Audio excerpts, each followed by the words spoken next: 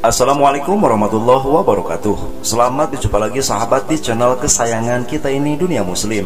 Channel yang membahas tentang seputar agama Islam, fakta unik, dan lain sebagainya. Pada video kali ini sahabat Kita akan memberikan informasi untuk kalian semua Yaitu 5 adab sebelum tidur dalam Islam. Tunaikan sholat isya dahulu. Namun sebelum kita bahas apa saja sih adab sebelum tidur dalam Islam, jangan lupa sahabat untuk memberikan dukungan kepada channel ini dengan cara like, komen, subscribe dan juga berbagi di media sosial kalian. Terima kasih. Tidur sudah menjadi kebutuhan setiap makhluk hidup. Menjaga pola tidur sahabat berkualitas pastinya akan mempengaruhi kehidupan manusia. Dalam agama Islam juga mengatur adab yang bisa dilakukan sebelum tidur sesuai dengan anjuran Nabi Muhammad SAW. Jika kalian konsisten mengamalkan adab sebelum tidur, selain tidur jadi nyenyak dan berkualitas, juga memperoleh pahala. Dikarenakan tidur yang kalian lakukan dinilai ibadah oleh Allah Subhanahu wa taala. Allah Subhanahu wa taala berfirman dalam surat Ar-Rum ayat 23 tentang karunia tidur yang artinya dan di antara tanda-tanda kebesarannya ialah tidurmu pada waktu malam dan siang hari dan usahamu mencari sebagian dari karunia-Nya. Sungguh, pada yang demikian tersebut benar-benar terdapat tanda bagi kaum yang mendengarkan. Terdapat beberapa adab yang bisa kalian lakukan sahabat sebelum kalian tidur di dalam Islam. Berikut adalah penjelasannya. Yang pertama, berwudu saat hendak tidur. Wudhu bukan hanya syarat wajib sebelum mengerjakan ibadah sholat saja sahabat Ataupun sebelum kalian membaca Al-Quran Berwudu pun sunnah dilakukan sebelum melakukan aktivitas tidur. Dengan berwudu, kondisi kita suci dari hadas besar dan najis. Dari Al Baro bin Azib, Rasulullah Shallallahu Alaihi Wasallam bersabda, jika engkau hendak mendatangi tempat tidurmu, hendaklah engkau berwudu seperti wudu untuk sholat. Lalu berbaringlah pada sisi kanan badanmu. Hadis riwayat Al Bukhari nomor hadis 247 dan Imam Muslim nomor 2710 dari kedua hadis tersebut sahabat, wudhu sebelum tidur merupakan perbuatan yang dianjurkan oleh Rasulullah Shallallahu Alaihi Wasallam. Selanjutnya, tidur dalam keadaan berbaring menghadap sisi kanan. Posisi kanan jadi posisi tidur terbaik dan dapat menjauhkan diri dari godaan setan saat terlelap. Selanjutnya, adab sebelum tidur dalam Islam nomor 2, menyegerakan tidur setelah menunaikan sholat isya. Kerjakan sholat isya lebih dahulu sebelum tidur sahabat Karena jika kalian sudah tidur dikhawatirkan sholat isya bakal terlewat atau tidak dikerjakan sama sekali Selain itu, Rasulullah Shallallahu Alaihi Wasallam berpesan untuk tidak tidur terlalu malam. Banyak madarotnya, sebagaimana Nabi Muhammad Shallallahu Alaihi Wasallam bersabda. Rasulullah Shallallahu Alaihi Wasallam membenci tidur sebelum sholat isya dan ngobrol-ngobrol setelahnya. Hadis riwayat Imam Al Bukhari.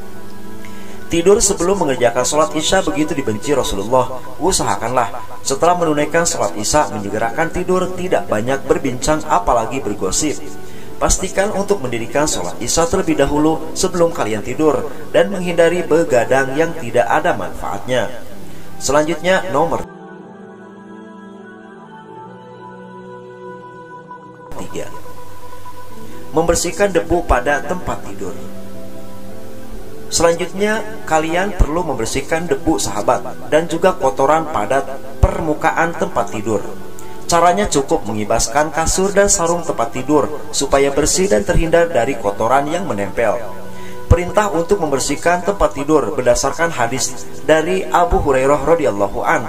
Rasulullah shallallahu alaihi wasallam pernah bersabda, "Jika salah seorang di antara kamu hendak mendatangi tempat tidurnya, hendaknya ia mengibas mengibas kasurnya dengan bagian dalam sarungnya karena ia tidak mengetahui apa yang ada padanya.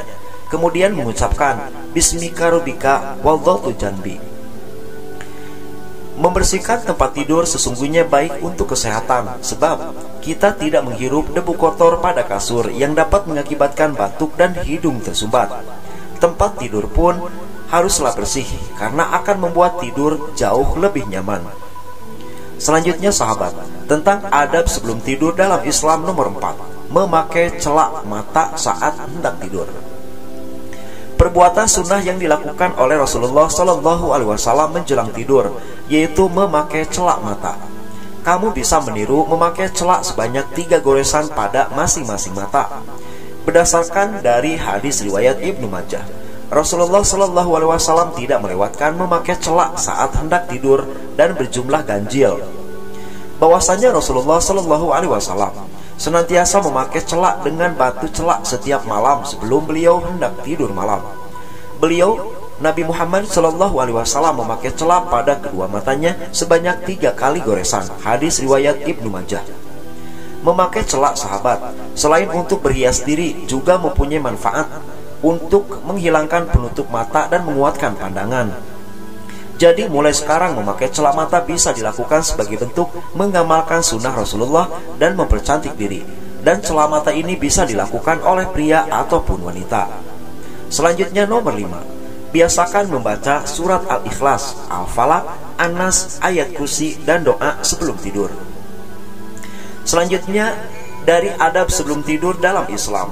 Nomor terakhir, yaitu kalian bisa harus membiasakan membaca surat Al-Ikhlas, Al-Falaq, An-Nas, ayat kursi dan doa sebelum tidur. Surat yang biasa dijadikan amalan sebelum tidur yaitu membaca surat Al-Ikhlas, surat Al-Falaq, dan surat An-Nas. Selesai membaca surat tersebut, usapkanlah kedua telapak tangan ke wajah. Sebagaimana hadis dari Ibu Siti Aisyah radhiyallahu anha berkata, Rasulullah Shallallahu alaihi wasallam apabila hendak beranjak ke tempat tidurnya setiap malam, Beliau menyatukan kedua telapak tangannya lalu meniupkan keduanya dan membacakan keduanya surat Al-Ikhlas, Al-Falaq dan An-Nas. Selanjutnya beliau mengusap dengan keduanya bagian mana saja semampunya. Beliau memulainya dari atas kepala dan wajahnya serta bagian belakang dari badannya. Beliau melakukan perkara tersebut tiga kali. Hadis riwayat Imam Muslim. Setelah membaca surat Al-Ikhlas, Al-Falaq dan An-Nas sahabat, dilanjutkan membaca ayat kursi sebagaimana Nabi Muhammad SAW bersabda.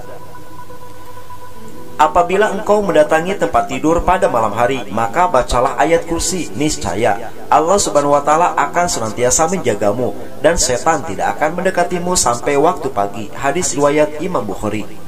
Selesai membaca surat-surat tersebut jangan lupa membaca doa sebelum tidur yaitu bismika Allahumma ahya wa bismika amut yang artinya dengan menyebut namamu ya Allah aku hidup dan mati. Hadis riwayat Imam Bukhari.